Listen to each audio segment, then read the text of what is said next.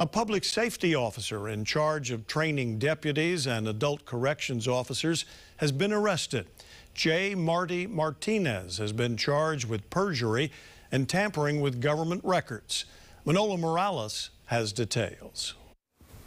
The state attorney general's office says its investigators arrested Martinez Thursday morning at her office in Iwilei. Court records say the public safety training officer has been charged with 14 counts from incidents that occurred from 2015 to 2019. Martinez faces two counts of perjury, which are felony charges, six counts of tampering with a government record, and six counts of unsworn falsification to authorities.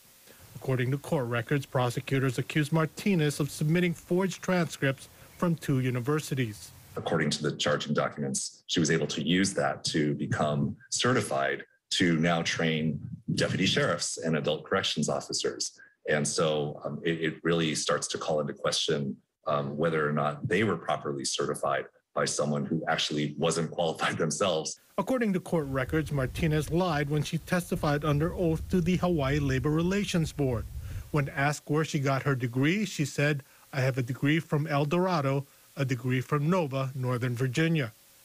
Records say that when she submitted her application to be a firearms training specialist, she made statements about her educational background that she did not believe to be true.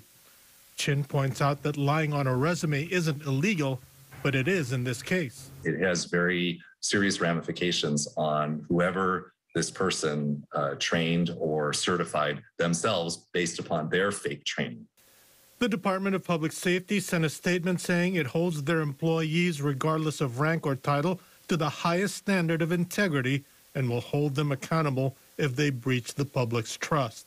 Martinez has been released from custody after posting bail of $11,000. Manolo Morales, KHON2 News, working for Hawaii.